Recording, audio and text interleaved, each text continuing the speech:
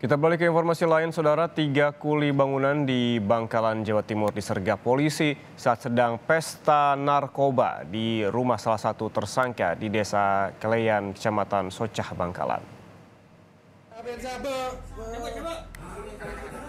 Polisi menggerbek tiga kuli bangunan yang sedang pesta narkoba jenis sabu. Ketiganya tidak bisa mengelak, apalagi melarikan diri. Mereka mengaku membeli sabu dari seorang teman seharga Rp800.000. Polisi mendapati 5 gram narkoba jenis sabu, alat isap, dan korek api.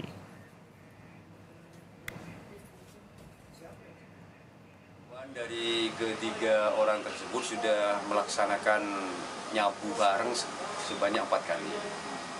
Ketangkep di sedang nyabu memang sedang uh, nyabu sedang pesta itu di Kelian itu di ruang tamu di ruang tamunya. Juga sudah pernah di penjara atau gimana? Yang Rasul Hidayat dari ketiga Anang, Rasul Hidayat, Mulyono, yang Rasul Hidayat ini sudah uh, pernah di penjara dalam kasus yang sama.